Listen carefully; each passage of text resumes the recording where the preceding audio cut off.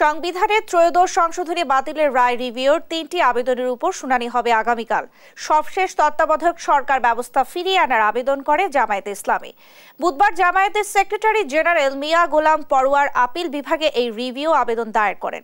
এর আগে গেল ষোলো অক্টোবর ত্রয়োদশ সংশোধনী বাতিলের রায়ের বিরুদ্ধে রিভিউ আবেদন করেন বিএনপি মহাসচিব মির্জা ফখরুল ইসলাম আলমগীর। আর গেল আগস্ট মাসে আলাদা রিভিউ আবেদন করেন সুজন সম্পাদক ডক্টর বদিউল আলম মজুমদার। বৃহস্পতিবার তিনটি আবেদন নিয়ে একসঙ্গে আপিল বিভাগের পূর্ণাঙ্গ বেঞ্চে শুনানি হবে।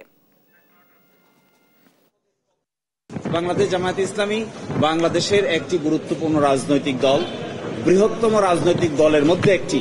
এই জন্য তারাও তত্ত্বাবধায়ক সরকার ফিরিয়ে আসার ক্ষেত্রে রিভিউ আবেদন দায়ের করেছে।